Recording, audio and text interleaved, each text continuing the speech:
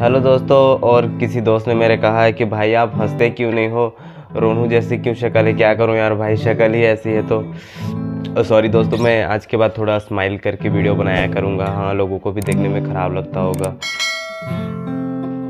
रोते रोते। गाने के टाइम पे ऐसे हो जाता है भाई। रो नहीं रहा हूँ, ऐसे ही शक्ल है। किसी किसी की शक्ल ऐसी रहती है।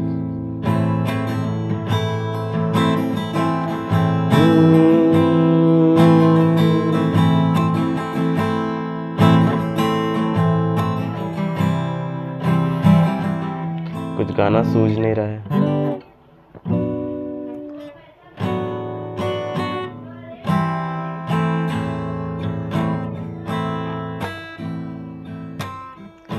हम्म,